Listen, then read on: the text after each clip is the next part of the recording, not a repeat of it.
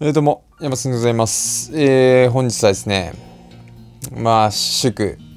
チャンネル登録者数300人いったということで、ちょっとね、その、えー、話をしようかなと思います。えー、まあ本当にね、あの、いろんな人に、え、フォローしていただきまして、ありがとうございます。まさかね、こんなことになるとは思わなかったですね。えー、一番最初にね、投稿したのが、多分ね、2000、2019年の6月だと思うんですよ。あの、私があのプロボクサーになったのが、あプロテストを受けたのが2019年の6月5日。で、その勢いのままに第1本目の動画を あの、投稿したんですよね。確か。うん。で、だから確か6月6とか7とかだったかな、一番最初の動画が。で、そこから、まあ、あの、ポチポチと動画を上げ始めて、で、本格的に、まあ、動画をどうだろう週に1本以上出し始めたのが、えー、2020年な。2020年。まあ私が愛知県に帰ってきた年ですね。あ1週間に1本ずつぐらい、えー、出すようになってそこから投稿頻度が増えていって今はもう週に2回とか3回とか、えー、動画を出すようにしていますけれどもえー、っとね本当に、えー、ここまで来ましたね、えー、まだまだ登録者数は少ないんですけどあ、まあ、ということで私の動画っていうのは、まあ、最初は資格関連の動画から始まってで途中でボクシングに移行していったわけなんで、えー、多分視聴者層っていうのは2種類2パターンいると思うんですね。私の資格関連の動画から入った人もいれば、えー、ボクシング関連の動画から入った人もいれば、えー、2パターンいてで、まあ、前者はねまあいいんですよ。あの本当にあの利用してもらえばいいんですけど後者ですよねボクシング関連の人たちっていうのがなんか結構なんかあの私の身近な人とかが結構多くてあのまあジムの人とかがあの結構あのそうですし、まあ、あとは私の友達とかもあの結構見てる人が多いんで、えー、なんかまあバレたんですよね。てか一人にバレるとみんなにバレるっていうのがあるんで普段あんまり話せないような話とか、えー、恥ずかしくて話せないような話とかもまた今後ね、えー、していけたらいいのかなっていうふうに思います。で、まあ登録者300人いったんで、もうちょっとちゃんとその、ちゃんと動画を作ろうかなって今思ったりするわけなんですよね。なんで今、週に3本とか、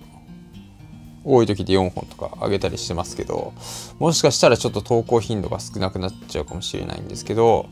まあ、ただちょっとその一本一本のクオリティとか、なんか今、今まではその中も何にも考えずに適当になんかパッと思いついたことをちょっとこれ動画にしようっつって適当にやってたんですけど、もうちょっと考えて動画を作ろうかなって今思ったり思ってなかったりしてます。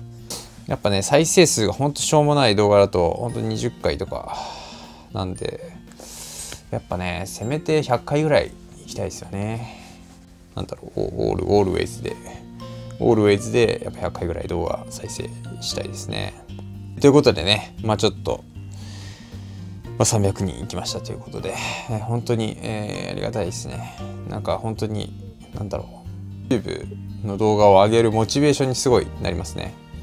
うん、今までは本当になんだろう自分の好きなようなことをこう発信してなんか自己満足でウェイっつって終わってたのが今はもうなんか誰かに見せるための動画作りになってるのかなと思います。まあ、半分はもう自己満足みたいな感じで、ウェイっつって自分で勝手になんかやりたいこと、喋りたいこと、喋ってなんか満足して OK 終わり、イエーイみたいな感じだったんですけど、えー、まあ今後はね、まあ、もう少しこの視聴者層に合った、えー、動画を配信していけたらなって思います。あまあ、なんでね、まあ資格の話もね、えー、これからあまあいくつか受けてますし、まあ現にね、えー、もう受け終わって結果待ちで結果が出次第、えー、動画に上げようかなっていう、えー、そういう、えのもありますんで。うん。まああとどうだろうね。なんか大学関連の話とかもした方がいいのかな。な結構その私のなんだろう動画アナリアナリティクスだったっけな、えー、YouTube の、えー、あるんですけど。そういうの見ると結構そのなんだろう大学とか偏差値関連の動画とかも結構上がってたりするんでなんかそういうのの話ももしかしたらもうちょっと増やしていったら面白いのかなって思ったりしますね。で、なんか意外とね、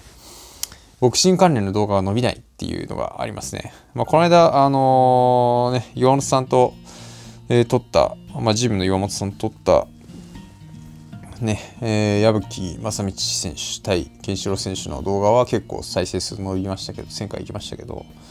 なんかそれ以外の動画なんか全然まくいかねえなっていうのがあるんで、なかなかこう、なんだろう、戦前予想動画とか、100回いかない動画とかあったりするんで、あんまりボクシングの、なんだろう、話してもあんまり良くないのかなと思ったりして、あとなんかボクシング豆知識とか言って始めてきましたけど、あんまり動画の再生数も伸びないんでね、うん。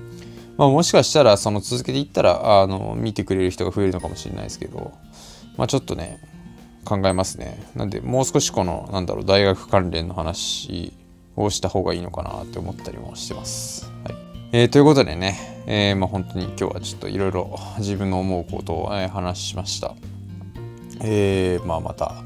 えー、本当に多くの人に動画を見ていただければあ嬉しいなと思います。で、それから、まあいろいろ、まあ、今後もね、まあ、資格の話とか、まあ、あと私のボクシングの試合もありますし、まあ、その辺の話の動画をね、作っていけたらいいのかなと、えー、思います。えー、ということで、えー、また引き続きね、えもしよろしければ私の動画をね、え適当に見ていただければ嬉しいなと思います。はい。えということで、本日の動画は以上になります。本当に300人ありがとうございました。えなんとか、次の目標はとりあえず500人。年内に500人行きたい。なんとかして。年内に頑張って500人。まあ、12月末までに500人行けたらいいなと思います。ちょっと頑張ります。はい。ありがとうございました。